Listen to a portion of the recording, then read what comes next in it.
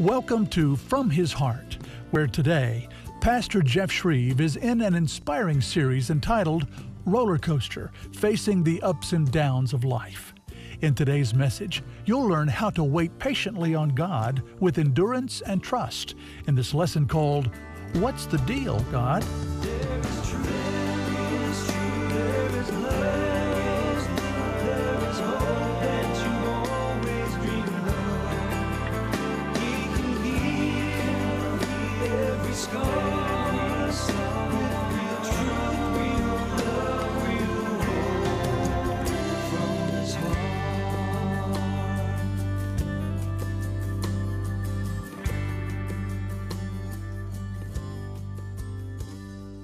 We're in a series on selected Psalms called Roller Coaster, facing the ups and downs in life.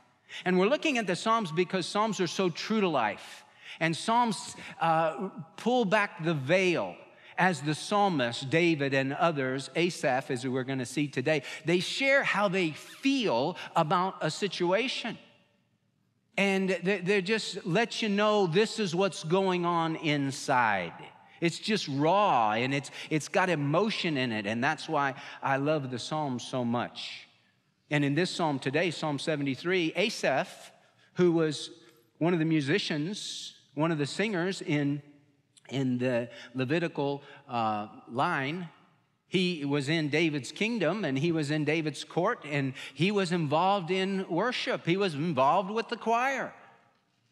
And he got so frustrated and he was so frustrated that he was about to throw in the towel on his relationship with the Lord, about to throw in the towel on worship and just say, you know what? It's not worth it.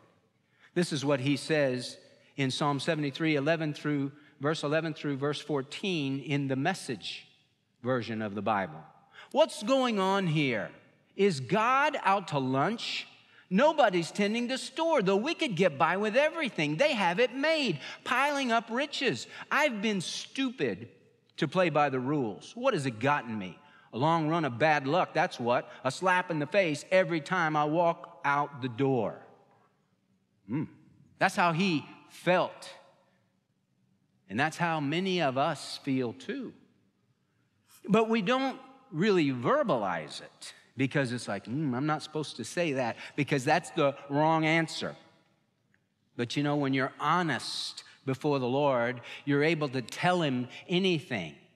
Uh, the Bible says, Trust in Him at all times, O people. Pour out your heart before Him. God is a refuge for us. God's a safe place. And you can share with God how you feel, and you can share your frustrations with God. And that is what Asaph does. And he teaches us a lot about this question is serving the Lord really worth it? Psalm 73, I'll begin reading in verse 1. In the New American Standard Bible, it says this Surely God is good to Israel, to those who are pure in heart. But as for me, my feet came close to stumbling. My steps had almost slipped, for I was envious of the arrogant as I saw the prosperity of the wicked. I want you to notice with me three insights from this psalm that help us understand and answer the question is serving the Lord really worth it? Insight number one we begin to question and doubt and wonder is serving the Lord really worth it when we begin to compare. Look at it again in verse 3 For I was envious of the arrogant as I saw the prosperity of the wicked.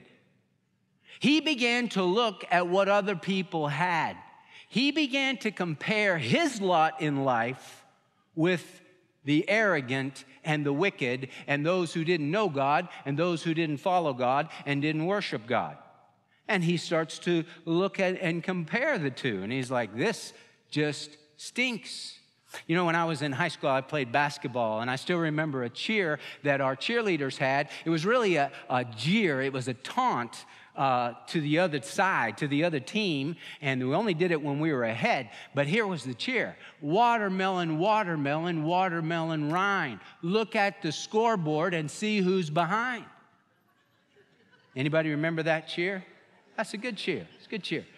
It's a good cheer if you're ahead. Can't really do it. You're getting beat by 20. Watermelon. No, you can't do that. But that's what Asaph is doing. He's running that cheer through his head. He's looking at the scoreboard. He says, Hey, I'm way behind here. Man, the wicked have everything and I have nothing. And what's the deal? God. Hey, comparison produces one of two things, both are bad. It produces either pride or envy. You know, you, can, you start comparing yourself with other people. One of two things pride or envy. You compare yourself to person X, and you're doing a little better than person X. You have a better house. You have uh, better cars. You have a better job. You have uh, a prettier wife. You have uh, better kids, so to speak, in your mind. You think, well, my kids are doctors. Their kids, you know, well, they're working at, uh, you know, Chick fil A. And you just say, uh, I'm doing better than you are. And so you kind of puffed up. Man, I'm good. But then you compare to somebody else. It's like, man, he's got a bigger house than I do. He's got a better car than I do. He's got a better job than I have. His wife's a lot better looking than my wife. And man, his kid's the CEO of Exxon. I'm not doing very well. Ugh. Boy, I wish I had what he had. Wish I had what she had. And you become envious. Now, God hates pride, very, very clear in the scripture. There are six things which the Lord hates, Proverbs chapter six. There are six things which the Lord hates, yes, seven which are an abomination to him. Number one on the list, a proud look, haughty eyes, it says in the New American Standard. God hates pride because pride is independence from God. I don't need you, God. I got it all handled on my own, and God hates that. And God also hates envy when you're looking at what other people have and say, Well, I'm getting the short end of the stick. See, pride says, I don't need you, God. And envy says, You're not fair, God. You're holding out on me, God. You're a dirty cheat, God. Because if you were right, if you were fair, I would have what so and so has. Comparison's a bad thing. It either inflates you with a big head, or it deflates you and it turns your heart sour and bitter and rotten. And comparison, here's the bottom line with comparison. As I saw, he says, why are you uh, questioning, is it worth it to serve the Lord? Because I saw the prosperity of the wicked. Boy, I saw how high, wide, and handsome they live, and it's just not right and it's just not fair, and they have so much more than I have. He's comparing. Comparison means that you've gotten your eyes off the Lord. Bottom line, you've gotten your eyes off the Lord. You're not just looking to Him anymore. The scripture says in Proverbs chapter 23, verse 17, do not let your heart envy sinners, but live in the fear of the Lord always. Uh, don't look at the, the sinners. Don't look at the wicked. Don't look at the, the people that are living for self and, and envying their lifestyle and envying the, the fact that they, oh man, they just go out and drink and they party and they, they do this and they do that and they cheat on their taxes and blah, blah, blah. And boy, I wish I could do that. Do not let your heart envy sinners, but live in the fear of the Lord always.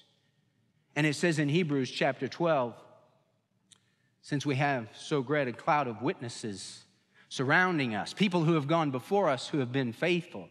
Let us lay aside every encumbrance and the sin which so easily entangles us, and let us run with endurance the race that is set before us, fixing our eyes on Jesus, the author and perfecter of faith.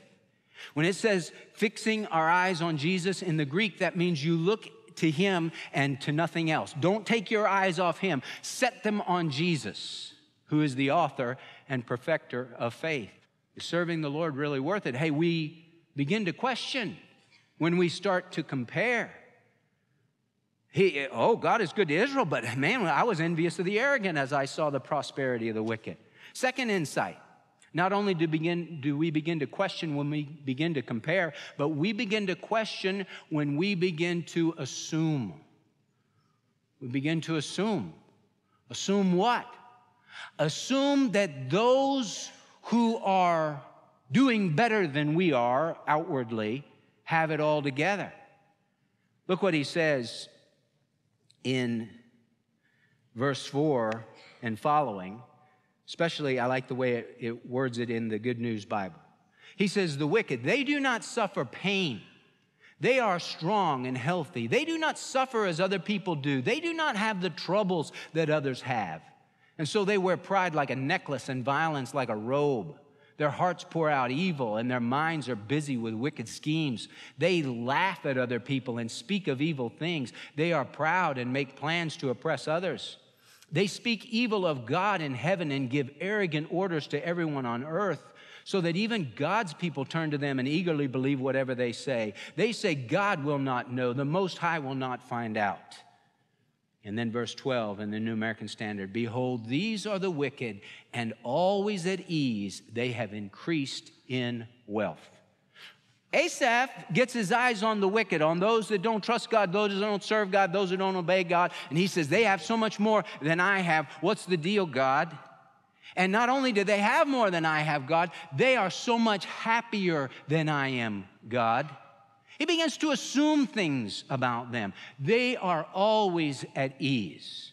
When it says they're always at ease, that word ease means to be tranquil, to be secure, to be careless, to be trouble free. I want you to think about that for a moment because we do the same thing that Asaph does.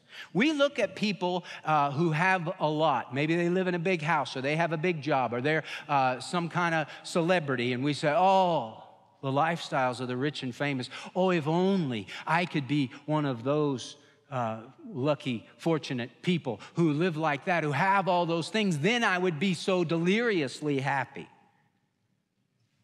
I want us to think about two questions. Question number one Are the wicked really enjoying peace and tranquility? I mean, is that true? Are they always at ease? They have increased in wealth? Do they live a trouble free life? Are they just so uh, giddy and, and carefree and just have such security inside? Are they, are they experiencing the Hebrew word shalom, peace and well being and everything's great? No, they're not experiencing that. All of us in this room have probably heard the name Mick Jagger. Mick Jagger is the king, has been uh, one of the kings of rock and roll for decades, the lead singer of the Rolling Stones, and his sidekick, uh, Keith Richards who uh, died in 1990, but nobody told him. And uh, so he's, he's still kind of breathing, but um, he's decaying. And uh, they're still at it. They've been doing this for 50 years. And their most famous song is the most honest song.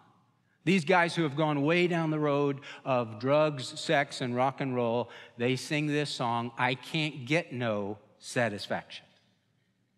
Because I try and I try and I try and I try. I can't get no satisfaction. hey, hey, hey. That's what I say. You're not going to do it.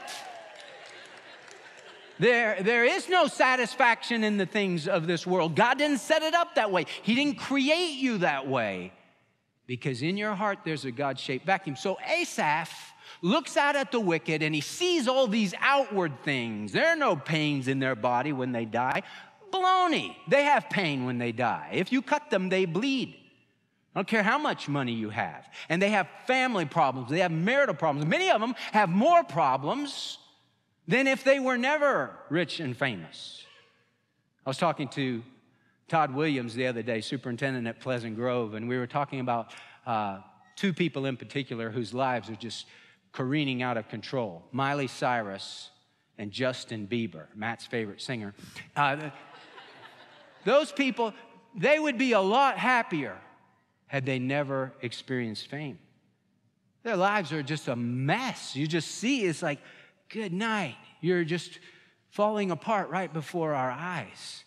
You're not going to find satisfaction in those things. So, hey, we, we, is it, is, does it pay to serve the Lord? Is it worth it to serve God? Well, we question when we begin to compare. We question, number two, when we begin to assume how all these other people have it so great. But the third insight, we begin to see when we begin to seek God. We see the real score when we begin to seek God. So Asaph says this, verse 13. Surely in vain I have kept my heart pure and washed my hands in innocence, for I have been stricken all day long and chastened every morning. I, am just getting smashed in the face every day while the wicked just prosper. And then he says in verse 15, If I had said, I will speak thus, Behold, I should have betrayed the generation of your children. I got to be careful, God. I can't publicly say this stuff because then that's going to cause other people to stumble, and I don't want to betray the generation of your children. But well, I'm coming close to slipping. My feet almost slipped, he says in verse 2. Then he says, verse 16, when I pondered to understand this, it was troublesome in my sight. I don't understand why the wicked prosper and the righteous suffer. Verse 17, until I came into the sanctuary of God. Then I perceived their end. He came into the sanctuary of God and he started to seek the Lord and he started to see things clearly. Hey, we begin to see when we begin to seek God. Asaph was in the ministry, Levitical priest, led in the choir, in the worship, in the playing of the instruments. But you know, he's just like everybody else. He can get away from the Lord. He can get his eyes off the Lord. He can maybe get out of church for a while. And you know, it doesn't take long. You get out of church, and all of a sudden, your, your mind starts to get warped and your world starts to turn upside down. It's, it's sad when you see people doing so well and they're coming week in and week out and week in and week out, and then something happens and they miss. And then something happens again the next week, and then they miss. And then they miss a third time. And then they buy a lake house, and they're gone every single weekend to go to the lake. And their spiritual life goes down the tubes. And then they start having marital problems, and then they start having family problems. And they say, What's going on? You've been neglecting the sanctuary of God. That's what's going on. You know, we say, Well, church isn't that big a deal. It's a huge deal because you need it, I need it, we need it. And we come together and we worship the Lord and we praise the Lord and we see things clearly when we sing his praises and when we study his word. So, what did he begin to see when he sought God? The wicked are one heartbeat away from hell. That's what it says. Verse 18 Surely you set them in slippery places. You cast them down to destruction, how they are destroyed in a moment. They are utterly swept away by sudden terrors, like a dream when one awakes, O Lord, when aroused, you will despise their form. One heartbeat away from an eternal hell. That's what the people that don't know God are. You might be here today and you say, Well, I'm not so sure I know God. Well, then I want to tell you with love in my heart that you're one heartbeat away from everlasting hell. The Lord does not want that for you. Jesus hung naked on a cross for you so that you wouldn't have to go to hell. The veil of the temple was torn in two, as we sang, so that you could have access to God. But what happens to the wicked? What do we read about in the New Testament? Jesus told the parable of the man who had so much, and he said, Oh, I have so many goods laid up for so many years. He's the guy that built bigger barns.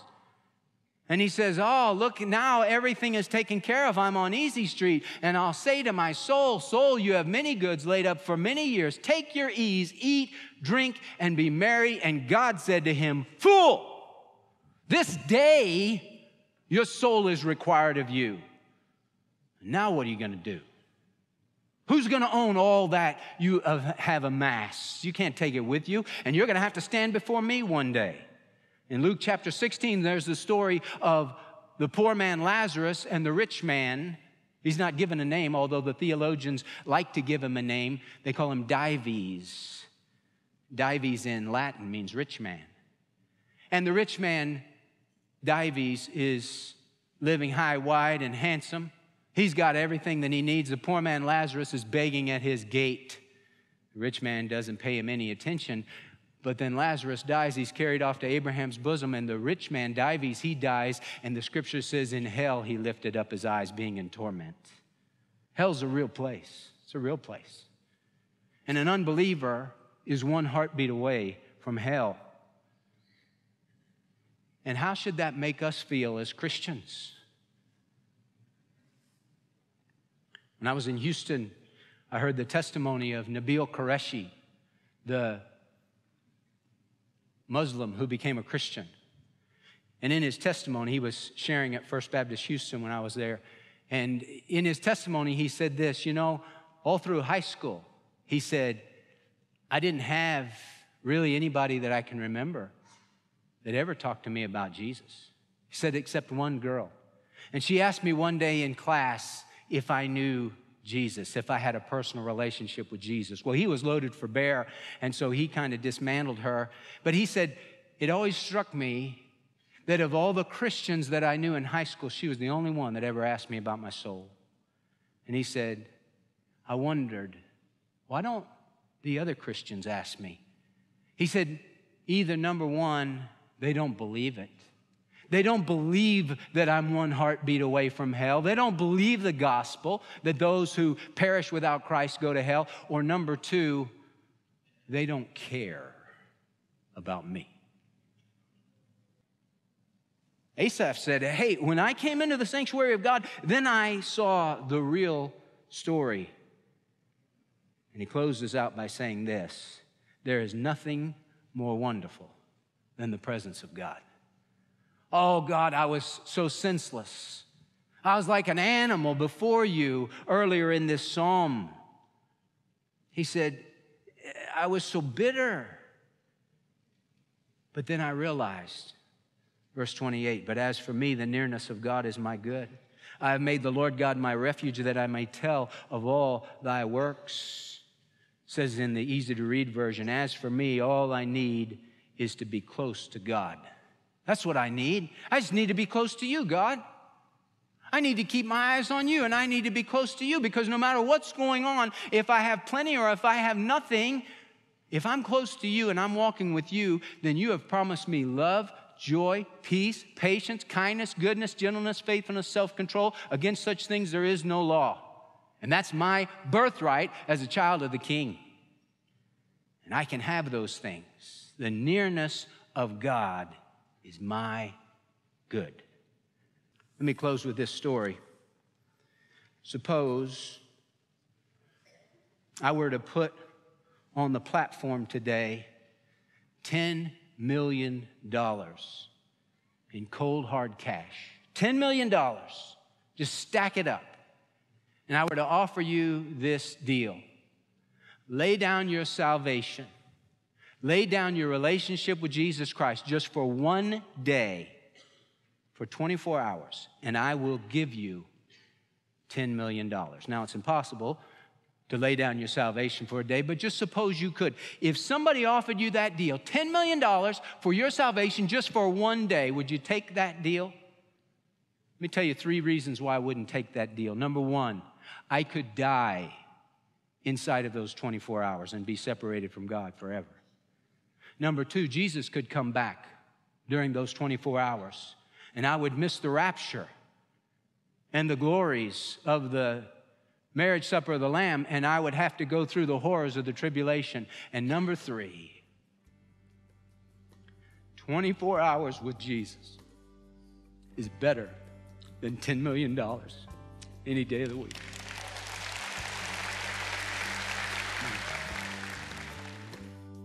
My friend, the Lord wants to have a personal relationship with you, and it all starts when you open your heart to Jesus Christ. If you've never done that, pray this simple prayer with me Lord Jesus, I need you. I know that I'm a sinner and I'm lost and I can't save myself. But I believe that you died on the cross for my sins. I believe that you rose again from the dead. And right now, Jesus, I put my faith and trust in you. Come into my heart. Be my Lord and Savior. I surrender my all to you. My friend, if you'll pray that kind of prayer and put your faith and trust in the Lord Jesus Christ, He will save you and He will change you. He'll work in your heart from the inside out. I would love to hear from you, to know that you're watching, to know that this broadcast is making a difference in your life, to know that you just prayed that prayer to receive Christ as Savior and Lord please take the time to call that toll free number, write me, email me, let me know what's going on and how we can pray for you. You really are important to God, and you're important to us, and we're here for you. Today's message, What's the Deal, God, is available in multiple formats when you call 877 777 6171 or go online to fromhisheart.org. Life is a lot like a roller coaster with ups and downs that can delight and discourage. Now, this month, we want to help you thrive through life's struggles by sending you Pastor Jeff Schreve's encouraging booklet, In the Face of Discouragement. It's our thanks for your gift from his heart this month. And for your gift of $40 or more, we'll also include his uplifting and practical series, Roller Coaster Facing the Ups and Downs of Life. It's available in multiple formats. These lessons from the book of Psalms will encourage you to trust God in all the ups and downs of life. You can make your gift by calling 877 777 6171 or go online to fromhisheart.org. And thank you for helping us offer real truth, love, and hope to a lost and a hurting world. Thanks for joining us today. You know, this is an important month for us at From His Heart. It's Vision Partner Month. Now, Vision Partners are a very special group of regular monthly supporters. They're people that we can count on as we share the good news of Jesus around the world. So, if this ministry has been a blessing to your life, would you prayerfully consider becoming a Vision Partner and lock arms with us so that we can together make an eternal difference for Christ? Now, remember, I don't receive any income from this ministry. I'm a volunteer and I'm a Vision Partner. So I ask you to join me and our family of faithful monthly supporters in this endeavor. Now, we have some wonderful gifts for new Vision partners. Just go to fromhisheart.org and click the Vision Partner banner. Thanks so much for partnering with me. I look forward to sharing with you next week and each day on radio or anytime online. May God richly bless you. From His Heart is the viewer supported broadcast ministry of Dr. Jeff Schreve, who believes that no matter how badly you may have messed up in life, God still loves you and has a wonderful plan for your life. You can find out more about that plan when you go to fromhisheart.org. Real truth, real